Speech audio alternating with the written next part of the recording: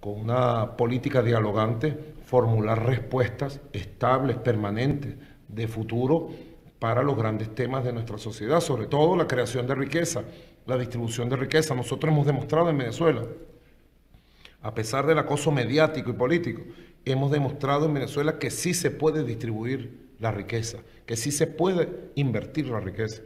Nosotros hemos llegado a un récord reconocido por las agencias de Naciones Unidas de un 72% de la inversión social de la riqueza general del país, un 72%.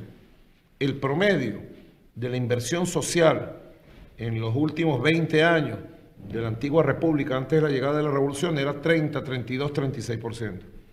El promedio de los primeros 15 años de la revolución fue 60, 62%.